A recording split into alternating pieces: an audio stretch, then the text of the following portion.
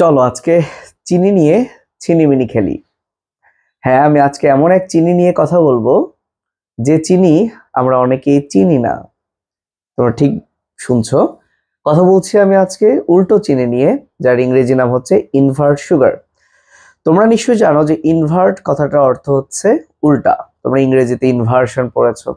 So সুগারকে যখন আমি উল্টায় দিব, সেটাই হবে ইনভার্ট সুগার প্রশ্ন হচ্ছে জিনিসটা কি, কেনই বা এটা করা হয় সব কিছুই আমি আলোচনা করব এই ভিডিওতে। প্রথমে আসি, বাজারে যে চিনি আমরা কিনতে পাই বা কিনে থাকি, ঝরঝরে দানাদার সেই চিনি, সেটা হচ্ছে আসলে সুগার, যেটাকে আমরা বায়োলজির ভাষায় বলি সুক্রোজ, বাংলায় চিনি, ইভেন আরবিতেও সুক্কার বা সুক্কারুন অর্থ হচ্ছে চিনি, সো আরবির সাথেও কিন্তু সুক্রোজের মিল আছে। আচ্ছা এখন এই সুক্রোজ এটা আসলে কি দিয়ে তৈরি? নর্মাল যে টেবিল সুগার যেটা আমরা বাজারে কিনতে পাই, সেটা আসলে কি দিয়ে তৈরি?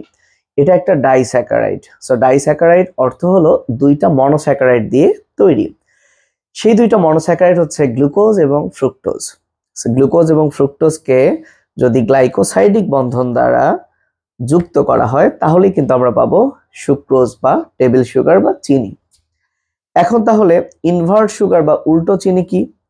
ওকে সুক্রোজের এই যে ডাইস্যাকারাইড গঠন করল, এই যে সুক্রোজ এই সুক্রোজের যে গ্লাইকোসাইডিক বন্ধনটা, কোনোভাবে যদি এই বন্ধনটা আমরা আবার ভেঙে ফেলি, কোনো একটা এনজাইম দিয়ে, ভেঙে ফেলার পর একটা যদি দ্রবণ তৈরি করি, যে দ্রবণে গ্লুকোজ এবং ফ্রুক্টোজ দুজনই আছে, কিন্তু তারা কিন্তু গ্লাইকোসাইডিক বন্ধন দ্বারা কিন্তু আবদ্ধ নাই। সুক্রোজকে আমরা ভেঙে ফেললাম এখন তৈরি হলো সমপরিমাণ গ্লুকোজ এবং ফ্রুক্টোজ এবং এই গ্লুকোজ ফ্রুক্টোজের যে সমপরিমাণ দ্রবণ বা মিশ্রণ, এটাকেই আমরা বলছি উল্টো চিনি বা ইনভার্ট সুগার প্রশ্ন হচ্ছে, উল্টো বলার কারণ কি? আগে আমি এটা একটু ক্লিয়ার করি। আসলে এটা বুঝতে গেলে আমাদের যে কার্বোহাইড্রেটের ক্লাসগুলো আমরা করিয়েছি, যারা রেগুলার ক্লাসগুলো করেছ, তারা তারা এই কথাটা খুব ভালো বুঝবা। সেটা হচ্ছে সুগার যেটা, সেটার মধ্যে, মধ্য দিয়ে যদি আমরা এক সমতলীয় আলো অতিক্রম করাই, তাহলে এই সুক্রোজটা আলোর তলকে ডান দিকে বাঁকিয়ে দিবে। তাই যেটা সুক্রোজ বা চিনি, সেটাকে আমরা বলি D sucrose small D sucrose, কারণ সে ডান দিকে বাঁকিয়ে দিচ্ছে। বাট যখন আমরা এটাকে হাইড্রোলাইসিস করে গ্লুকোজ এবং ফ্রুক্টোজ বানিয়ে ফেলব এবং গ্লুকোজ এবং ফ্রুক্টোজের দ্রবণ তৈরি করব, যেখানে গ্লুকোজ, ফ্রুক্টোজ কিন্তু বন্ধন করে নাই, আলাদা আছে।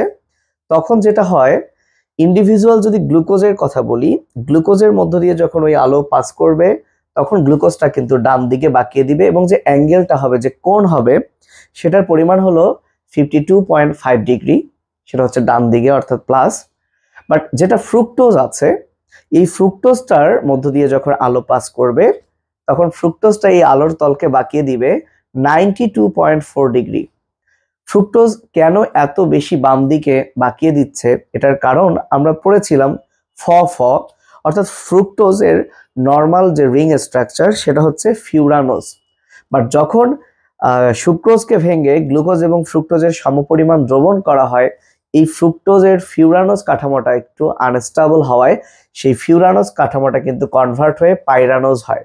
বলা হয়ে থাকে, এই পাইরানোজ কাঠামো হওয়ার কারণে সে একটু বেশি আলোর তলকে বাম দিকে বাঁকিয়ে দেয় এবং তার সেই বাঁকানোর কোণ যেহেতু minus ninety two point four যেখানে গ্লুকোজের fifty two point five so দুইজনের দ্রবণে যদি আলো পাস করি ওভারঅল ইফেক্টে কিন্তু বাম দিকে আলোর তলটা বেঁকে যায়। তাহলে লক্ষ্য করো, যখন গ্লুকোজ, ফ্রুক্টোজ ডাইস্যাকারাইড গঠন করেছিল, সুক্রোজ গঠন করেছিল, বন্ধন করে, সুক্রোজটা আলোর তলকে ডানে বাঁকিয়ে দিয়েছিল বাট সেই সুক্রোজকে যখন আমরা ভেঙে ফেললাম এবং ভেঙে গ্লুকোজ, ফ্রুক্টোজের সমপরিমাণ দ্রবণ তৈরি করলাম, এই দ্রবণের মধ্য দিয়ে যখন আলো পাস করল, এক সমতলীয় আলো, তখন কিন্তু আলোটাকে বাম দিকে বাঁকিয়ে দিচ্ছে। তাহলে অবশ্যই কি উল্টো হয়ে গেল না? সুক্রোজ আলোকে বাঁকাতো ডান দিকে আর সুক্রোজকে ভেঙে যে দ্রবণটা পেলাম, গ্লুকোজ ফ্রুক্টোজের, সে আলোকে বাঁকাচ্ছে বাম দিকে। এই যে উল্টো ঘটনাটা ঘটলো, এটার কারণেই কিন্তু নাম হয়েছে উল্টো সুগার বা উল্টো চিনি বা ইনভার্ট সুগার এবং ইনভার্টের শেষে এস দিলে হয় ইনভার্টেজ এনজাইমটার নামও হয়েছে ইনভার্টেজ এখন এই সুগারের আসলে লাভ কি? উপকারিতা কি? তাহলে এই যে সামান্য স্ট্রাকচার আমরা উল্টো করলাম। উল্টো করার ফলে কি হলো?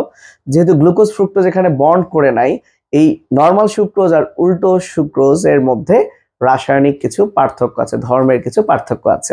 যেখানে সুক্রোজটা ঝরঝরে চিনি যেটা দানাদার আমরা পাই, সেটা কিন্তু উল্টো চিনির বেলায় বা ইনভার্ট সুগারের বেলায় এটা কিন্তু জাস্ট তরল থাকে। দেখে মনে হয় যে চিনির শিরা বাট চিনির শিরা কিন্তু এটা না।